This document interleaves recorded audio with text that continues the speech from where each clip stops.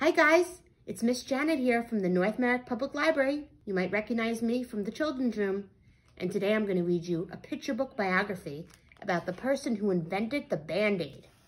It's called The Boo-Boos That Changed the World, a true story about an accidental invention, really. And it was written by Barry Wittenstein and illustrated by Chris Hsu.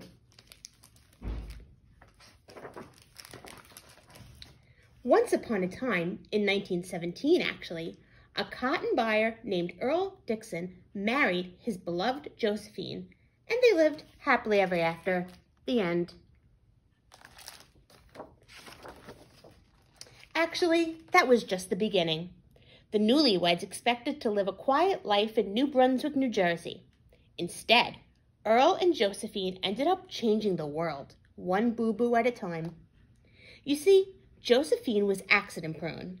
She often bumped and bruised herself while working around the house, but that was nothing compared to how often she injured herself in the kitchen. Ouch! When she sliced and diced an onion, she sometimes sliced her finger too. Boo-hoo when she grated cheese. She sometimes grated her knuckle. Ah, when she lifted a hot pot off the stove, she sometimes burned her hand. After Josephine winced in pain, she quickly grabbed a rag to stop the bleeding. But with bulky towels between her fingers, it was even harder for Josephine to hold a knife. She became even more accident prone. Impossible, you say? It's true. Josephine's klutziness had become a bloody problem. Every night when Earl came home from work, he looked forward to talking with Josephine and eating the wonderful meal she had prepared. That was until he saw his beloved's hands.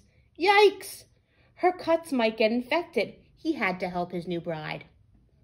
Earl's father was a doctor, so Earl knew a little bit about boo-boos and bandages. And luckily, he worked for a company that manufactured hospital supplies. Earl knew there had to be a solution, but what was it? Earl thought while he shaved in the morning, maybe if I... Earl thought while he bought cotton in the afternoon, then I could. And Earl thought some more while he lay in bed at night, and that would solve... Finally, a light bulb went off over his head. I've got it, Earl yelled with excitement, waking up Josephine. What have you got, she asked. The bloody solution, of course, Earl replied. The next morning, Earl tried out his idea. Step one, he took a long piece of adhesive tape and laid it on the kitchen table, sticky side up. Step two, Earl cut small squares of sterile gauze and stuck them on the tape every few inches. Step three, he placed a material called crinoline on top of the adhesive tape to keep the whole strip sterile. It's perfect, Earl said proudly. Now all Josephine had to do was cut off a piece of the longer strip and put it on. She didn't need anybody's help. She needed only one hand. It worked. At last, they lived happily ever after. The end. But wait! Here comes the part about how Earl and Josephine changed the whole world.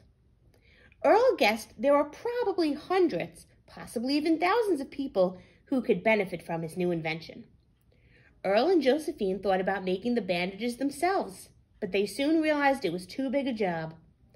Earl told one of his coworkers about it, and the coworker encouraged Earl to meet with the company's president. At first, Earl's boss, James Johnson, wasn't quite sure Earl's idea was good enough. Earl demonstrated how easy it was to put the bandage on. That Mr. Johnson saw his own light bulb. The company agreed to produce and sell the product. They combined the words bandage and first aid to create the clever name Band-Aid. Now Earl and Josephine would surely live happily ever after because Band-Aids were guaranteed to be an instant success. And with that, we have come to the end. Thank you and good night. Oops, not yet. Sorry. The first year, Band-Aids were made in a factory. It was a slower than slow process and only a small number could be manufactured by hand. They came rolled up and were 18 ridiculous inches long and three ridiculous inches wide, and they still had to be cut into pieces. Earl, Josephine, and Mr. Johnson had high expectations, but the Band-Aid boxes collected dust, ignored and unwanted. A few years later, the company invented a machine that could mass produce thousands of the bandages. Instead of the user having to cut them up, each one was ready to go. Band-Aids were now about three inches long and an inch wide. And they were cute too. Each one had a little red string to pull in order to open the paper wrapper. Success! Band-Aids flew off the shelves. The end? Not really. Unfortunately, even with the cute red string and the convenient size, the public wasn't sold on the idea. Mr. Johnson knew there had to be a solution. What happened next was truly a stroke of genius. The company decided to give the band-aids away. Mr. Johnson wondered who needed self-adhesive bandages the most. And then that light bulb went off again. The Boy Scouts, of course. All those fall down, climb up, scratched elbows, scraped knees boys got plenty of cuts. It didn't take long before the mothers of those rough and tumble boys saw how handy those little bandages are. That did it. Earl and Josephine's invention was a smash. During World War II, the company sent millions of free band-aids to the brave soldiers fighting overseas. In the years that followed, band-aids were made in different sizes, colors, and designs. Some even had pictures of cartoon characters on them. And that continues to this day, all over the world.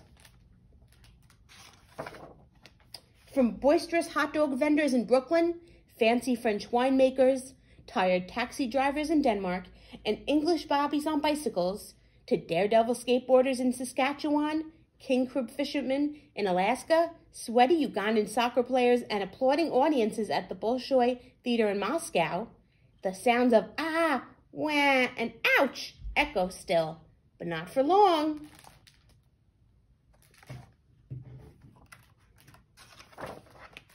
because soon those snivels and snobs of pain are silenced by Earl and Josephine's accidental boo-boo invention.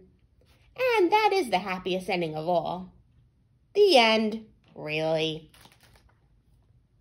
I thought that was a pretty interesting story, guys. I hope you enjoyed it. Thanks for letting me read to you today. Bye.